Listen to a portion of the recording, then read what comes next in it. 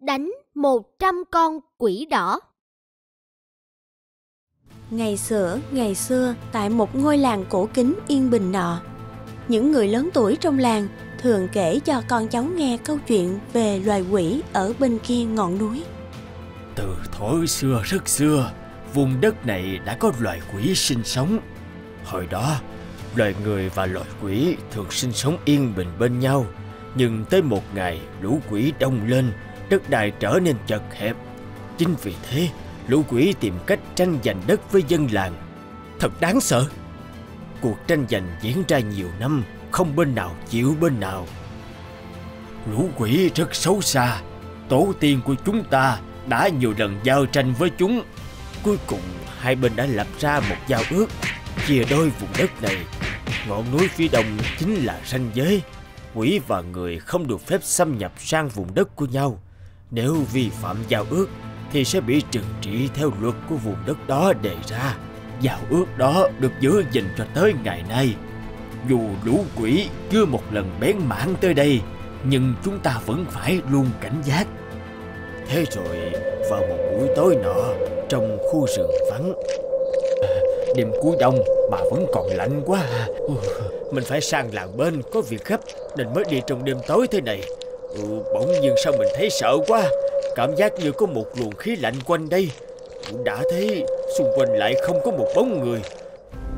Đây à, chẳng phải là máu sao? Chuyện gì xảy ra vậy? Ôi trời ơi Có phải mình hoa mắt không? Không Rõ ràng là thật mà.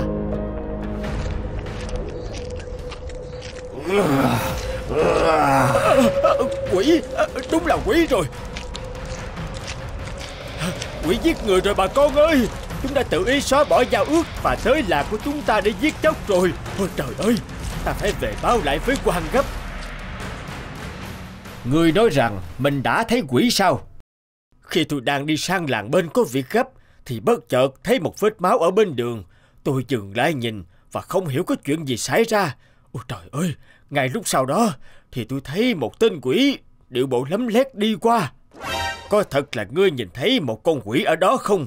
Liệu có sự nhầm lẫn nào không? À, dạ thưa quan, chắc chắn là không có nhầm lẫn đâu ạ. À. Chính mắt tôi đã nhìn thấy một con quỷ có cặp sừng dài, trên tay nó ôm theo một người đang chảy máu. Giao ước giữa chúng ta và loài quỷ bao nhiêu năm nay vẫn được giữ gìn. Sao tự nhiên chúng lại vi phạm? À, dạ thưa quan, Đúng là có giao ước với quỷ thật Nhưng rõ ràng là xưa đến nay Chúng ta cũng vẫn luôn đề phòng Chứ có bao giờ tin tưởng tuyệt đối Vào giao ước đó đâu à Lũ quỷ ấy vốn xảo trá Việc chúng lật lọng, bội hứa Cũng không quá lạ lùng mà Nhất định ta không thể để chuyện này xảy ra thêm một lần nào nữa. Tin tức về loài quỷ phá bỏ giao ước lan đi nhanh Khiến dân làng vô cùng hoảng sợ. Đầu đầu cũng thấy người dân tụ tập để bàn tán về lũ quỷ. Họ sợ rằng từ nay, sự yên bình của ngôi làng sẽ không còn nữa. Thưa ngài, hôm qua lại có thêm nhiều trẻ em mất tích. Ở hiện trường còn lưu lại rất nhiều dấu chân to lớn ạ. À. Lũ quỷ thật là ngang ngược, không thể để bọn chúng tiếp tục làm hại người nữa. Truyền lệnh, lập tức tập hợp những người khỏe mạnh nhất để đánh đuổi quỷ ra khỏi mảnh đất này. Vâng, thưa ngài. Hãy sang tận sào huyệt của chúng và đánh cho chúng một trận tơi bời. Chúng ta dù có phải đánh tới chết cũng không được lùi bước và khoan nhượng. Phải bắt lũ quỷ giáo quyệt này tiếp tục thực hiện giao ước.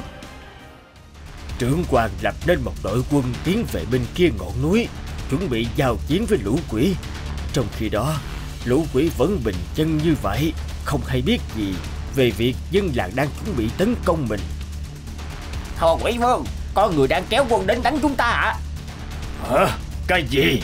Chúng dám Lũ quỷ các ngươi, vi phạm giao ước, hãm hại dân lành Hãy rời khỏi mảnh đất này ngay Lũ người ngạo mạn, Dám đem quân đến xâm lược vùng đất của chúng ta, Các người mới phải cút khỏi đây Đúng là lũ quỷ xấu xa, Đã làm càng lại còn hống hết Đúng là không thể tin tưởng được lũ quỷ các ngươi mà Các ngươi phá vỡ giao ước Đưa người tới đây để đánh đuổi chúng ta. Chúng ta sẽ không bỏ qua đâu. Bày đâu Ngền chiến Bọn chúng dám dẫn quân tới tận đây Để xâm chiếm vào mảnh đất của chúng ta. Khác gì khiêu chiến với chúng ta. Vậy thì hãy cho bọn chúng biết thế nào là sức mạnh của quỷ. Không thèm đôi coi nhiều lời với bọn chúng. Trừng trị lũ quỷ gian ác Xông lên. Xông lên! Bầy quỷ nhỉnh hơn về sức mạnh Khiến đội quân của trưởng quan thương vong khá nhiều. Cuối cùng, họ đã phải rút lui. Nghe tin bại trận, Nhiều gia đình lo sợ lũ quỷ sẽ kéo đến Nên đã lựa chọn ra đi. Ngôi làng ngày càng trở nên tiêu điều. Nhiều ngày sau, Lũ quỷ vẫn tiếp tục bắt bớ, Phá hoại đời sống dân lành. Sự tức giận oán thán của dân làng Đối với lũ quỷ càng tăng lên. Trưởng quan, bèn hạ lệnh cho mời các thầy pháp tài giỏi nhất. Nhưng không ai chiến thắng được rủ quỷ, Cho đến một ngày. Tôi là thầy pháp Jeffia Đến từ ngôi làng cách đây năm ngọn núi. Nghe nói làng này đã có quỷ hoành hành, Nên xin được giúp một tay. Nhưng ngươi định làm bằng cách nào? Tôi có cách riêng của mình, Đảm bảo sẽ tiêu diệt được bọn chúng. Đã bao nhiêu thầy Pháp được ta mời tới đây? Đều đã phải bó tay rồi. Nếu người có thể đánh đuổi được lũ quỷ Ta sẽ không tiếc tiền Ban thưởng cho ngươi. Tôi sẽ lập một đàn phép Để gọi quỷ chúa đến. Chỉ cần chặt được sừng của nó Nó sẽ mất mạng. Quỷ chúa không còn Thì lũ quỷ còn lại sẽ tự khắc bỏ đi. Điều này ta chưa từng nghe thấy. Có thật là chỉ cần chặt được sừng của quỷ chúa Thì nó sẽ mất mạng ư. Đúng thế, hãy nghe tôi. Tôi đã có 30 năm tu luyện Và tìm hiểu về loài quý này. Những điểm mạnh, điểm yếu của chúng Tôi đều nắm trong lòng bàn tay. Và thú thật với ngài, Ngoài tôi ra thì không ai có thể trừng trị được con quỷ chúa đó hết. Vậy thì mong ngài hãy mau mau giúp đỡ Dân làng chúng tôi sẽ đa tạ Và không quên công ơn của ngài. À là Cabo À là Cabi Triệu hồi quỷ chúa! À, à, Quỷ chúa hãy nạp mạng? À, à, à. Hoàng hô Thầy Pháp, Pháp thắng, thắng rồi, rồi. Hoàng hô thầy, thầy Pháp thắng, thắng rồi. Con quỷ đã bị chặt mất sừng rồi. Hoàng hô. Từ nay đây lũ quỷ sẽ không dám bén mạng đến làng của chúng ta nữa. Lũ quỷ xấu xa đã bị đánh bại. Hoàng hô Hoàng hô. Cảm ơn thầy Pháp Nhưng uh, liệu lũ quỷ có quay lại không? Nó đã bị tôi chém mất sừng Chẳng còn sống được bao lâu nữa đâu. Sức mạnh của cả đàn quỷ nằm ở con quỷ chúa. Còn quỷ chúa mà mất sừng Thì chỉ có chết thôi. Giờ thì dân làng không cần phải lo lắng gì nữa. Từ nay trở đi Lũ quỷ không có cơ hội tới đây hoành hành nữa rồi. Mọi người hãy an tâm. Tôi đảm bảo từ giờ Lũ quỷ sẽ không dám bén mạng đến đây nữa. Hoàng, Hoàng hô Làng tôi xin tặng toàn bộ số vàng này cho thầy Để bày tỏ lòng cảm ơn. Thôi, tôi không nhận đâu. Giúp mọi người trừ gian trừ tà Là việc thầy Pháp tôi nên làm mà. Mong thầy nhận cho. Đó là tấm lòng thành Và bày tỏ sự cảm kích của chúng tôi. Thầy nhất định phải nhận ạ. Thôi được, Vậy thì tôi sẽ mang số vàng này Để phân phát cho những người nghèo. Sau ngày đó, quá nhiên lũ quỷ không còn xuất hiện. Nhưng mọi việc vẫn chưa kết thúc Trong một đêm Khi trưởng quan đang sai nhất Nè Ông quan Bao dậy đi. Quỷ à, Quỷ ư? Đúng Ta là quỷ chúa đây. À, à, à, quỷ, quỷ chúa Chẳng phải người đã chết rồi sao? Làm sao ta có thể chết được? Ta đến để nói cho ông hiểu. Đừng có việc gì cũng đổ thừa cho quỷ. Loài quỷ chúng ta không tệ nhưng con người nghĩ đâu. À, Người ờ, người hại người không ghê tay Mà còn nói là không tệ.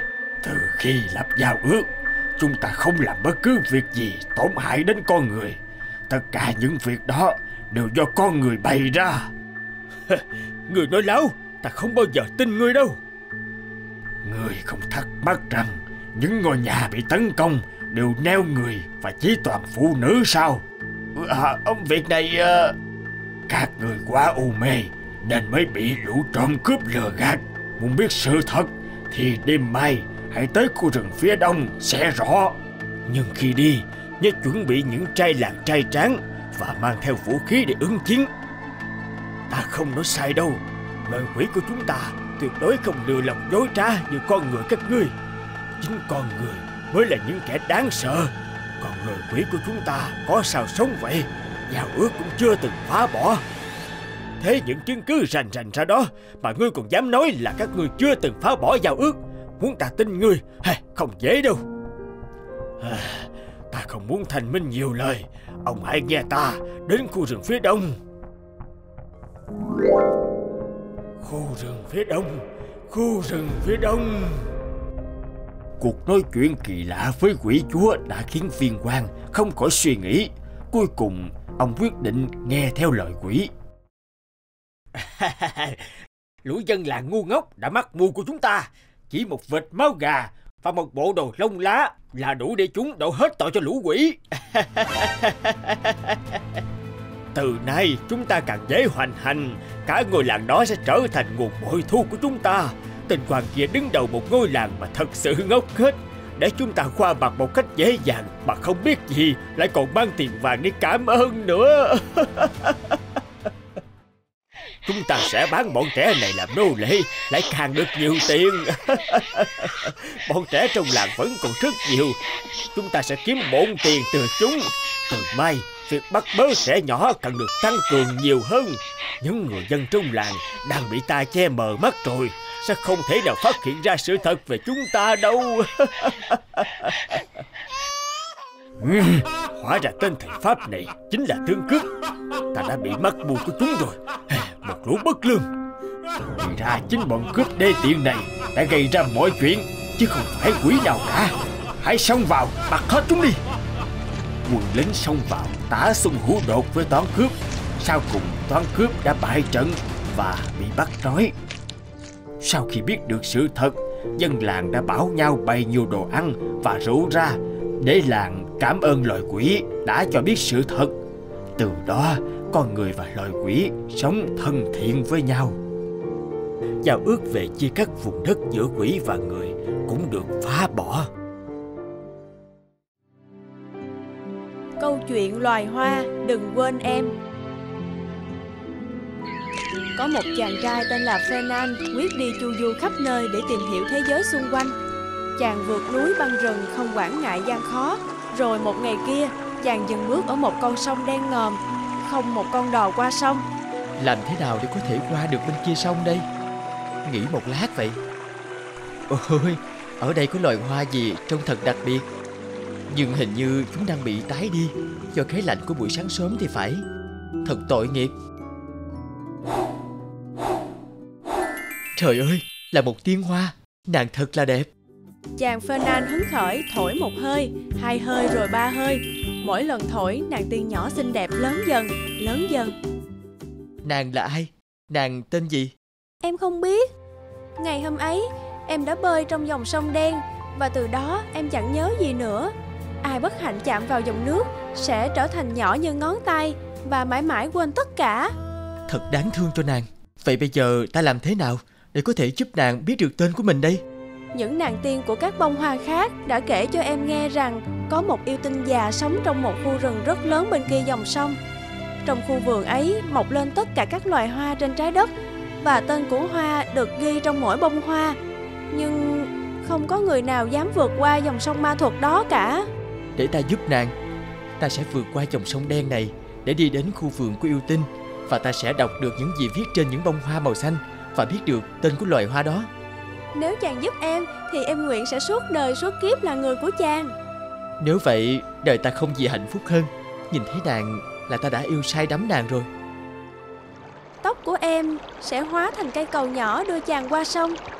Nhưng chàng phải cẩn thận đường trượt ngã Dòng sông đen sẽ làm chàng mất trí nhớ. Fernand làm theo yêu cầu của nàng tiên nhỏ. Chàng cẩn thận đi trên chiếc cầu bằng giải tóc để đi vào khu vườn thần kỳ. Đừng quên em! Đừng quên ta.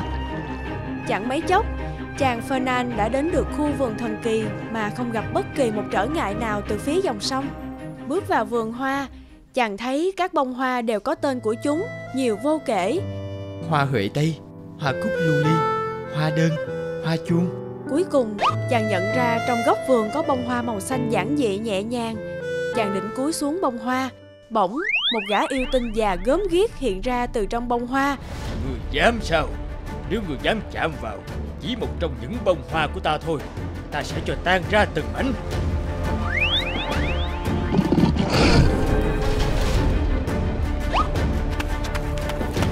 Hỡi nàng tiên tóc xanh Vợ của ta Hãy cứu ta với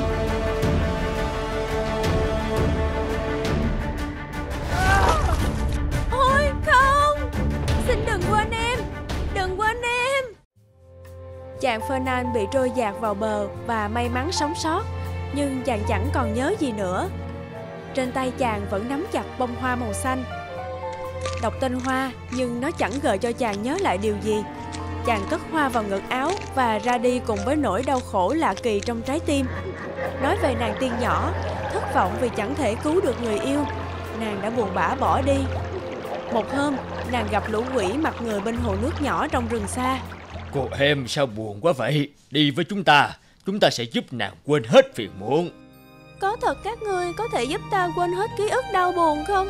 Tất nhiên là được Nhưng muốn làm được điều đó Thì từ nay cô không được phép cất lời Nếu không cô sẽ bị biến thành bông hoa vĩnh viễn Cô đơn, đau buồn.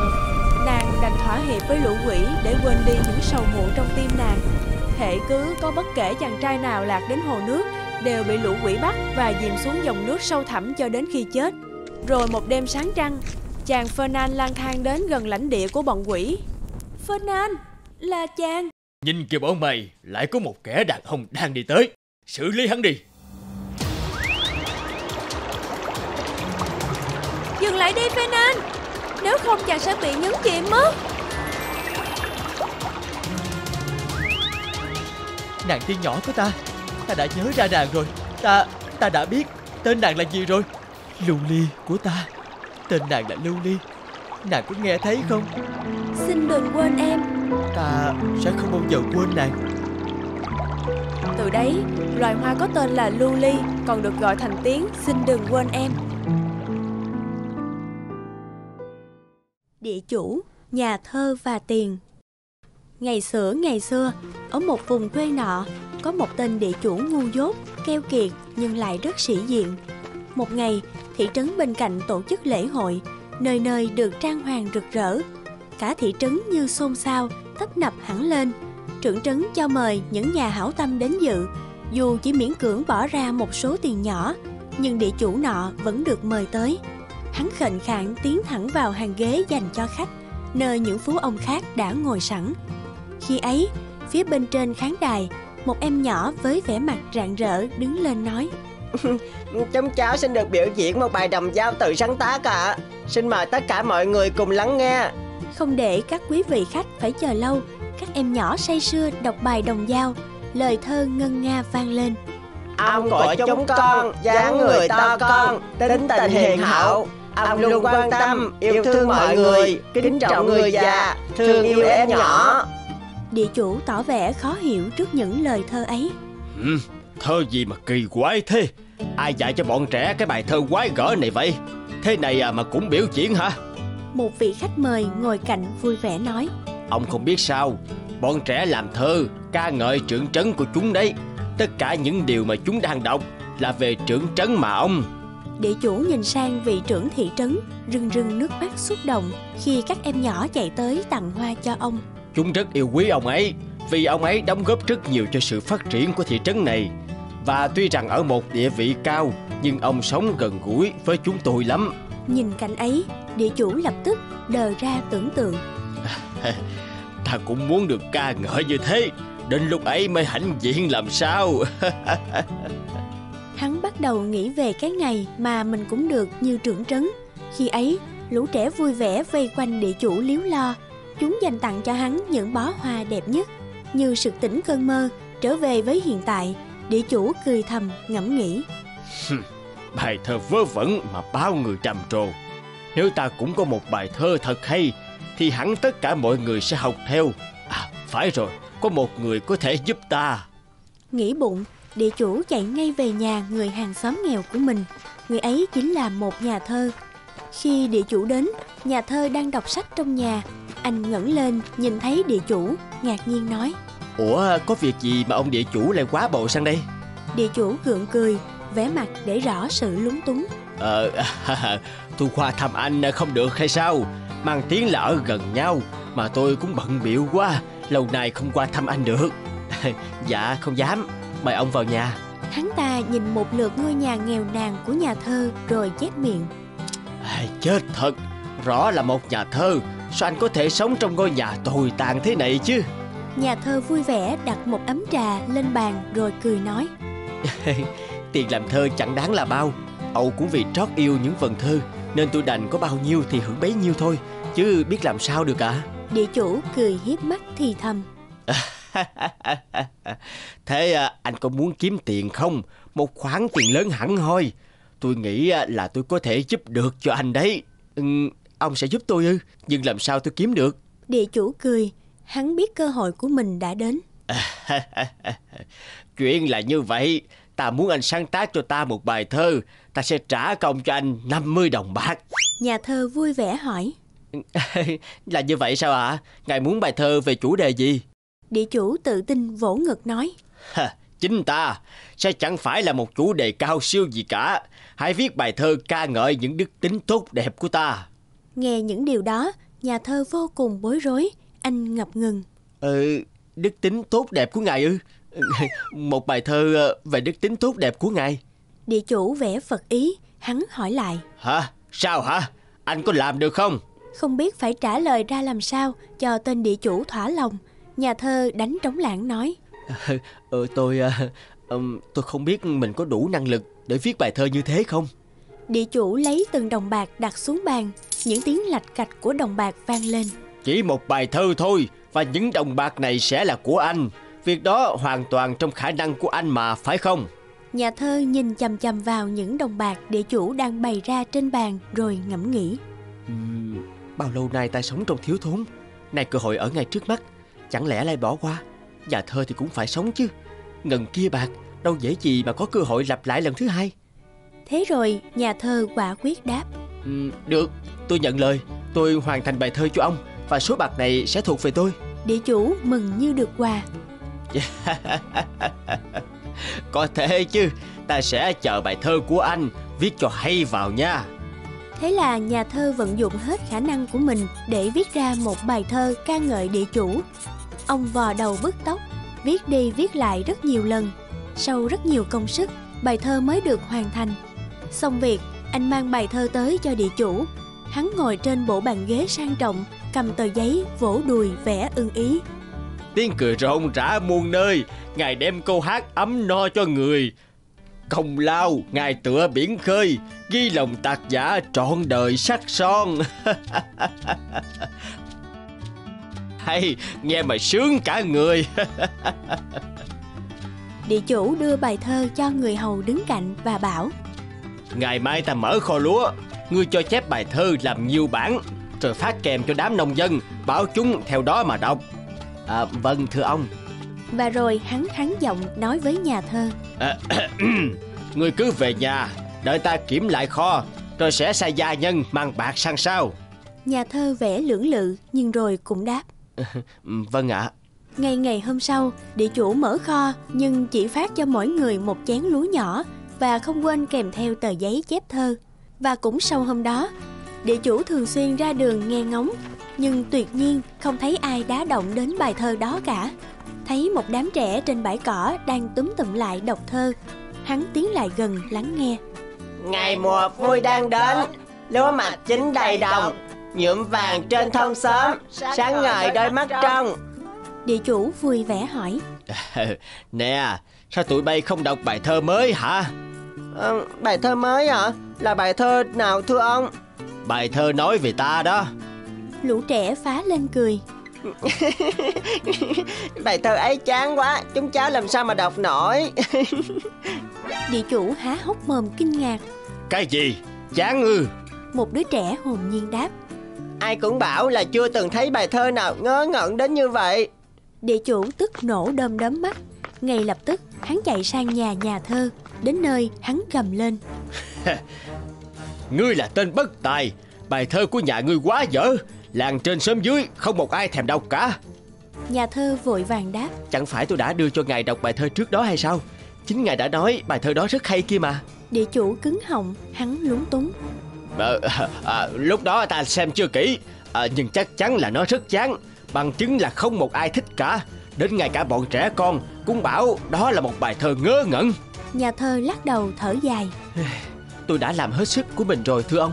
Tên địa chủ chỉ tay vào nhà thơ sẵn giọng. Nếu vậy thì đừng hòng ta trả cho ngươi một xu nào.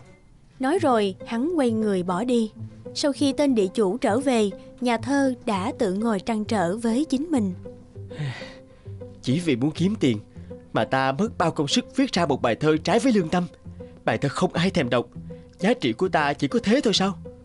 Và ngay lập tức Chỉ trong một đêm Nhà thơ đã sáng tác ra một bài thơ hoàn toàn mới về ông địa chủ. Vài ngày sau Trong khi đang uống trà Địa chủ bỗng dừng lại nghe ngóng Vì tiếng đọc của bọn trẻ vang lên. Hắn hỏi người gia nhân. Ngoài kia có gì mà ồn ào thế? Ờ dạ thưa ông Khắp xóm làng đang lan truyền bài đồng dao mới ạ. À. Bọn trẻ đang đọc bài đồng dao một cách hào hứng lắm. Trông chúng cứ hứng hà hứng hở ấy ông ạ. à. Địa chủ lấy làm ngạc nhiên về điều đó Hắn vồn vã hỏi. Bài đồng dao mới Bài nào chứ? Có phải bài đồng dao viết về ta không?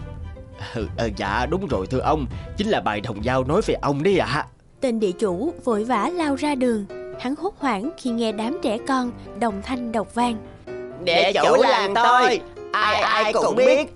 Tham lam nước tiếng Keo kiệt bần tiện. Địa chủ làng tôi. Sĩ diện kiêu căng Chẳng ai sánh bằng Địa chủ tức mình nhảy sổ ra. Ai Ai dạy các người hát như vậy hả? Em nhỏ không có vẻ gì là hoảng sợ Chúng thản nhiên đáp.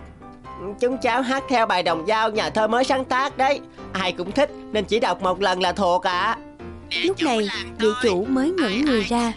Từ sau hôm đó Địa chủ đi đến bất cứ đâu. Tiếng thơ lột tả thói xấu của hắn Lại văng vẳng bên tai Khiến hắn vô cùng xấu hổ. Vài ngày sau Hắn vùng vằng đến nhà của nhà thơ. Hắn ném bọc tiền xuống trước mặt nhà thơ và nói Người hãy cầm số tiền này Rồi rút lại bài thơ đó ngay. Ta không còn muốn nghe thấy bài thơ ấy thêm một lần nào nữa. Tôi không thể làm được Vì mọi người đều thuộc lòng nó rồi. À, à, Người, à, người dám. Như thấy được vẻ mặt ngơ ngác của lão địa chủ Nhà thơ hỏi Ông vẫn không hiểu vì sao Bài thơ ca ngợi ông thì không ai thèm đọc. Trong khi bài thơ chê bai ông Thì ai ai cũng thích hay sao chứ Địa chủ ê chề không nói nên lời. Nhà thơ khuyên giải. Nếu ông muốn có bài thơ đẹp về mình Thì hãy là một con người biết sống đẹp Sống vì người khác trước đi. Địa chủ tiêu nghỉu trở về dinh thự Trong tiếng chê cười của mọi người. Hắn không thể cấm được tất cả mọi người Đành bịt tai ở lì trong nhà nhiều ngày Không dám ra ngoài Vì bài thơ vẫn vang lên khắp xóm làng Hãy like, comment, subscribe kênh để xem thêm những video mới nhất nhé!